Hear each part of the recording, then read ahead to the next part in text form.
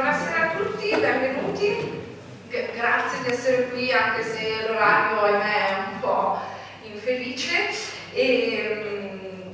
um, siamo qui come eh, PD Sinistra Media per fare un incontro con la popolazione e eh, sul tema della gestione dei rifiuti. Eh, presento chi c'è qui con me al tavolo che è eh, il microfono, eh, Vera Verducci, che è anche lei del territorio di Sarre, Carola Carpinello, eh, Paolo Meneghini, Raimondo Donzel e eh, Alessio Ciacci, eh, direttamente dal comune di Capano, ringrazio esperto in gestione dei rifiuti, che dopo ci dirà un po' di cose. Eh, quindi eh, stringiamo i tempi, lascio subito la parola a Vera Verducci.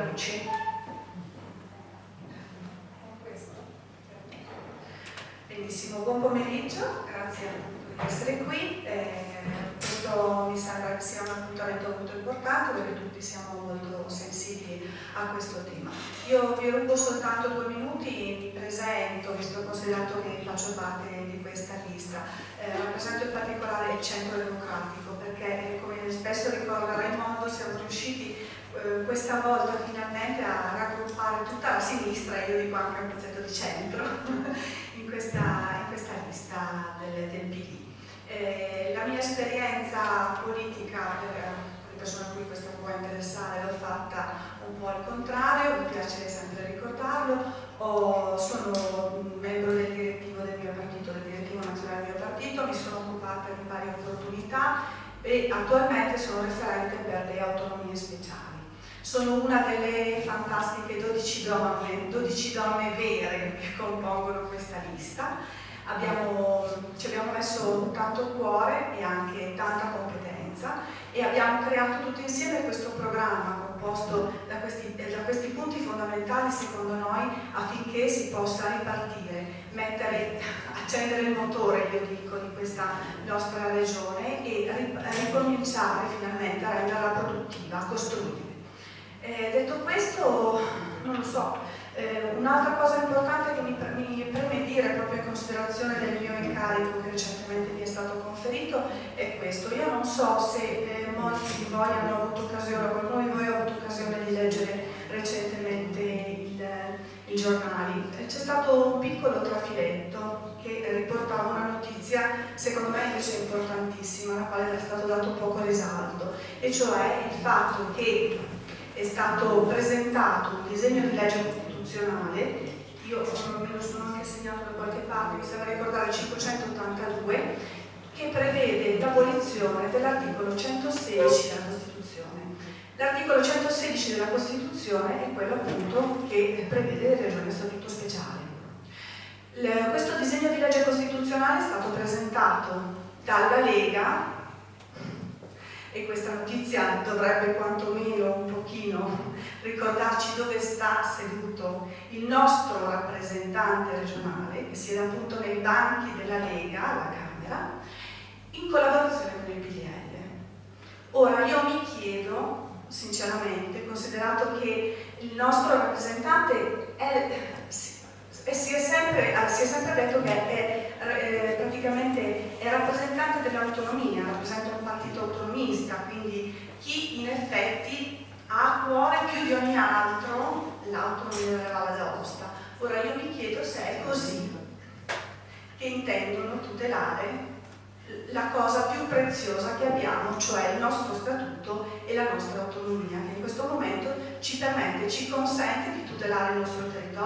le nostre peculiarità e di mantenere ciò che negli anni abbiamo sostanzialmente costruito. Detto questo, io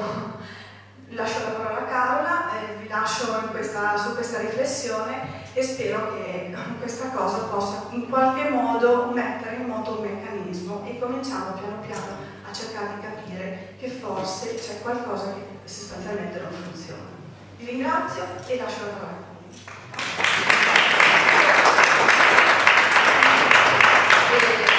In realtà lascio la parola a Raimondo Donzel, segretario del PD.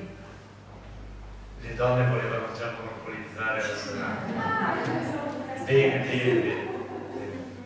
Tanto l'ospite d'onore che abbiamo qui oggi è Alessio Ciacci, quindi è a lui che l'onere diciamo, dell'intervento principale di questa giornata. Me interessa un po' chiarire perché eh, lui è stato invitato qui e nel contesto di una campagna elettorale. Intanto io lo dico con franchezza perché sono abituato, mi conoscete, a essere diretto, non lo conosco eh, personalmente, ma me ne hanno parlato così bene, mi hanno fatto una capa tanca, come si dice, i nostri amici eh, di eh, Valle Virtuosa, Paolo Meneghini, eh, Lorenza Palma, Carola Carpinello e gli altri eh, con i quali abbiamo collaborato, che sicuramente mi sono fatto l'idea di eh, un buon amministratore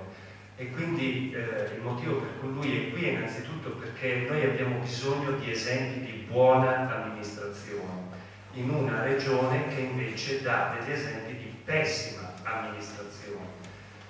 Non, non, nei territori comunali, perché vedo qui anche dei rappresentanti comunali, sto parlando del livello regionale in primis. Quindi noi abbiamo bisogno di esempi di buona amministrazione e degli esempi di buona amministrazione che dimostrino che alcune cose che noi abbiamo in qualche modo portato qui a livello teorico, ideale, si possono realizzare concretamente. È, è lo sforzo maggiore che dobbiamo fare in Valle d'Osta, per capire ai nostri amministratori che una gestione dei rifiuti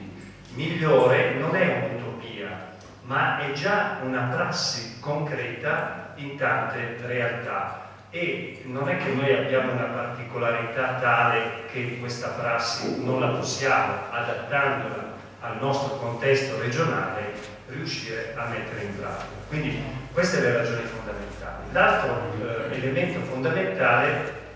è che la questione ambientale, la questione della corretta gestione dei rifiuti ha trascinato una riflessione che è un po' andata al di là dei confini di quelli che erano gli obiettivi di una battaglia referendaria specifica, ma ci sta facendo capire meglio quanto sia importante immaginare una nuova forma di sviluppo per la nostra regione, cioè uno sviluppo in cui l'ambiente non sia più concepito come in, in questi anni abbiamo vissuto come un ostacolo al fare, questi ambientalisti che si mettono sempre di traverso nelle battaglie, ma come invece oggi l'ambiente diventi la prospettiva di sviluppo per una regione che si è eh, trovata davvero su un vicolo cieco, su un binario morto, 800 posti di lavoro persi nell'industria in Valle d'Aosta, oltre 400 nell'edilizia, eh, il licenziamento di massa degli operai dei cantieri forestali, cioè una situazione disastrosa dal punto di vista lavorativo in una regione che aveva sfiorato la piena occupazione solo 5 anni fa, avevamo la disoccupazione al 4%. Oggi la disoccupazione giovanile è al 22, oltre il 22%. Certamente è inciso la crisi internazionale, i tagli del governo Berlusconi, i tagli di Monti, eccetera, però a Trento la disoccupazione giovanile è al 12 e a Bolzano al 9. Siccome eravamo allineati con loro solo fino a 4 anni fa, qui c'è stata una pessima gestione della crisi che veramente ha portato a deragliare la nostra regione. Noi per ripartire vogliamo ripartire con, un nuovo, con una nuova idea di sviluppo, in cui l'agricoltura e il turismo lavorino di più insieme, in sinergia, e si crei, se vogliamo, il nostro sogno, questo assessorato all'ambiente, agricoltura e turismo che riesca a far vivere insieme queste realtà, a conciliarle e a far partire nuove idee di sviluppo. Poi le abbiamo anche nel campo dell'edilizia, magari se ci sarà tempo dopo eh, qualche spunto che lo offrirà anche Paolo che sta facendo delle grosse riflessioni su ipotesi completamente sbagliate di nuove grandi opere quali il teleriscaldamento da Oste e altre soluzioni veramente strampalate per la nostra realtà. Quindi eh, un benvenuto, un caloroso benvenuto a Alessio Giacci e eh, davvero eh, speriamo che sulla base del, delle esperienze che voi avete maturato riusciamo anche noi a formare, a creare degli amministratori che sappiano insomma, dare veramente un nuovo indirizzo, una svolta al, alla Valle d'Aosta. Questa è l'idea che noi eh, vogliamo portare avanti e una volta tanto non è un'idea così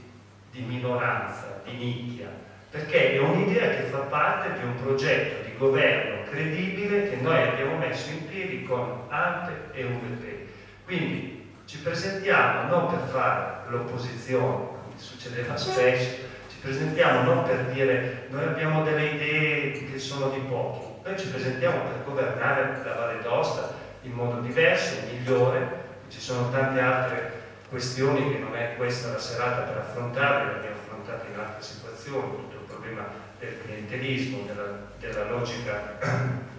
davvero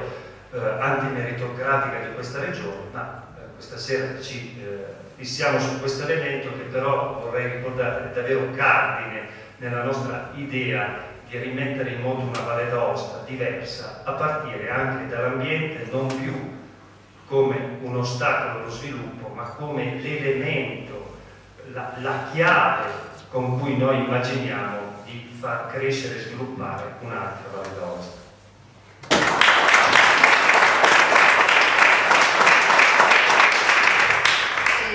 lascio subito la parola al nostro ospite Alessio Ciacci, ma eh, prima vi, dico giusto due parole perché Paolo, Carla e io abbiamo fortemente voluto questo incontro in quanto, eh, parlo per me ma credo anche per loro, la, la, mia, la ragione per cui sono candidata in questa lista è proprio avere una corretta gestione dei rifiuti. Mm, noi arriviamo qui direttamente dall'esperienza del referendum che si è tenuto il 18 novembre, eh, i cittadini valdostani hanno scelto di eh, non far costruire il biogassificatore ma di andare verso i trattamenti a freddo Peccato che eh, la Regione Valle d'Aosta, l'attuale la, maggioranza, eh, non ci senta tanto da, da questo orecchio, perché eh, la relazione che è stata portata dalla Commissione speciale sui rifiuti, di cui faceva parte anche Raimondo Donzel, non è stata accettata e perché il Consiglio regionale invece ha approvato una delibera con la quale ha deciso eh, sostanzialmente solo la maggioranza, certo, ovviamente PD, eh, Sinistra VDA e, e Alpe non hanno votato a favore di questa delibera, la maggioranza ha deciso di voler perdere ulteriori altri sei mesi per eh, approfondire lo studio sulla gestione dei rifiuti, quando noi il piano dei rifiuti, grazie all'esperienza di Capano e di Alessio Ciacci, grazie all'esperienza di altre persone che hanno collaborato con noi gliele abbiamo già portate. L'altro motivo per cui sono qui è che eh, oltre a non aver ottenuto nulla dal punto di vista gestionale e quello che noi vorremmo fare lo dirà benissimo, ce lo spiegherà bene Alessio Ciacci, è che eh, anche dal punto di vista legale e giudiziario ho capito perfettamente qual è la posizione della Regione eh, prima del referendum ci sono state due, eh, due cause, una al TAR e una al Tribunale eh, della Valle d'Aosta mm, eh, con cui sostanzialmente si chiedeva di non far svolgere il referendum e la Regione lì neanche si è costituita in giudizio per difendere invece il diritto dei cittadini ad esprimersi.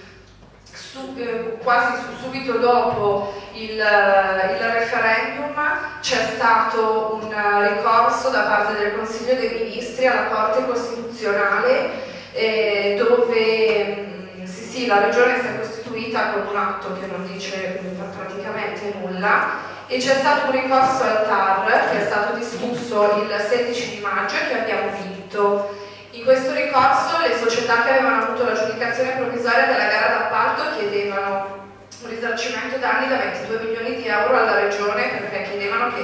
chiedevano che venisse revocata, eh, revocato l'annullamento della gara d'appalto. E, mh, da questo punto di vista la Regione assolutamente si è difesa bene nel merito. Peccato che in via pregiudiziale queste società chiedevano che il TAR rinviasse gli atti alla Corte Costituzionale in quanto ritengono che la norma sia anti-incostituzionale, sia illegittima e la Regione si è ben guardata dal difendere la legittimità costituzionale della norma. Allora a questo punto noi non parliamo più di trattamento a freddo, di trattamento a caldo, di biogassificatore o di fabbrica dei materiali.